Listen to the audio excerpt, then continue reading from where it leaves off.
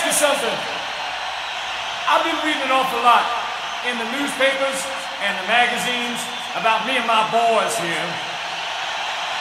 And I was reading one article in particular about an organization, you might have heard of it before, they're called the PMRC. Well, I read, I read what they said, that they think that we are sexual perverts.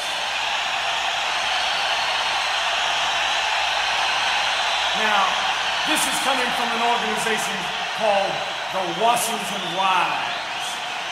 And I don't know about you, but to me, that sounds like some sort of goddamn Jackie Collins Hollywood fucking novel, if you ask me.